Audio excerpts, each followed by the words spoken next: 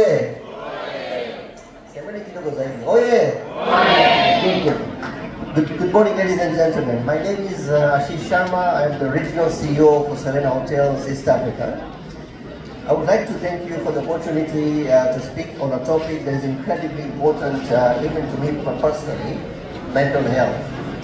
Uh, when I took over as a CEO uh, for East Africa for Serena, I, I told my team mental health is key. So mental health affects each, each of us, no matter our background and life circumstances. It's not just about the absence of illness, but the presence of well-being. Yet we often overlook it, perhaps because we can't always see it. It's a hidden thing. People go through mental health problems, it's all hidden inside, we don't see it. But its impact on our lives is profound. In today's fast-paced world, stress, anxiety, and depression are becoming more and more common.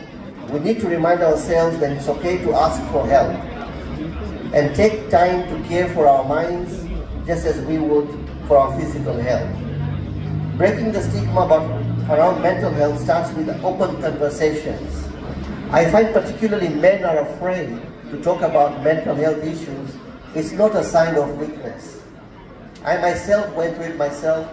It is a challenge and I asked for help as well. So don't think it's a weakness if you're a man and if you have to ask for help.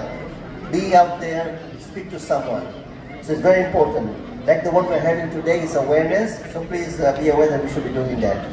At Serena, we are taking active steps to support mental health well-being.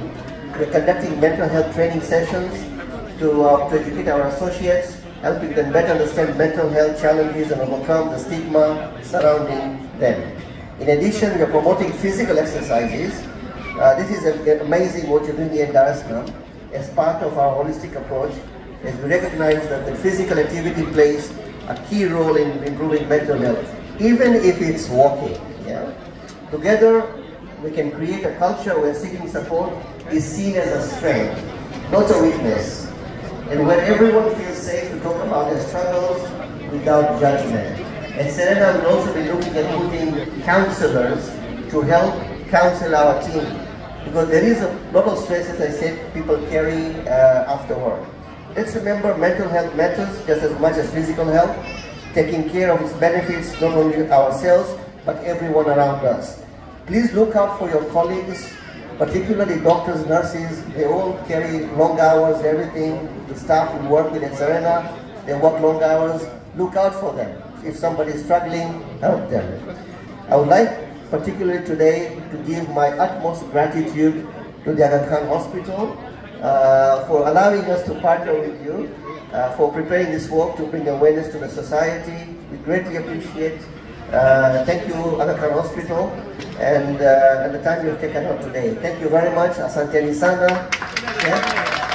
Sana. Antony Sana, thank you, thank you, uh, CEO.